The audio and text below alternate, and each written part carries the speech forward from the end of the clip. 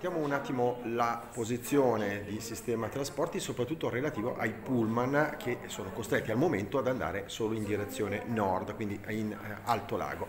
Qual è la penalizzazione? La penalizzazione è che i tempi di percorrenza si duplicano e senza considerare poi non solo da una parte dei costi ma appunto anche di personale viaggiante che comunque a volte per fare l'escursione al lago di Como ci sono necessari al posto che un autista, due autisti e al momento personale viaggiante non ce n'è.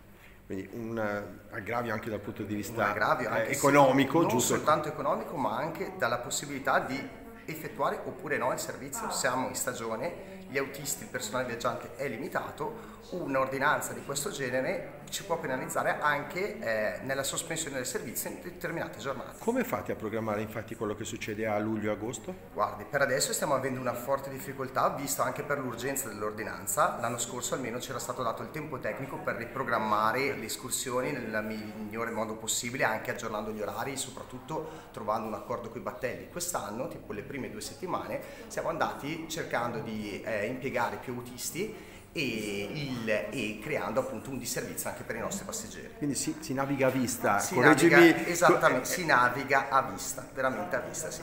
Grazie. Prego.